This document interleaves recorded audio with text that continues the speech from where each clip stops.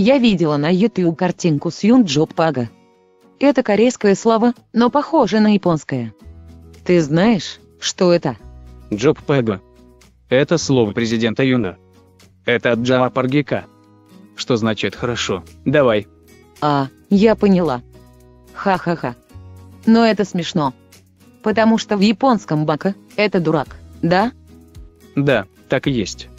Это как ругать президента Юна, но не на самом деле. Юн Джоб Пэго. Все равно, это интересно. Но Джох – это не грубо. Ах, да. Это слово как мужские части. Но это слово не всегда плохое. Правда? Когда оно хорошее. Например, есть слово Джон Дялнам. Джон Делнам. Это от Джона Залсангенамтя по-корейски. Да, это хорошее слово, потому что оно значит очень красивый мужчина. Там Джона это от того же слова для мужских частей плюс на, что значит выходить. Если говорить быстро, то получится Джонна. Понятно. Это просто шутка, но мы говорили об этом слишком серьезно. Ну, в другой раз я скажу тебе больше корейских шуток.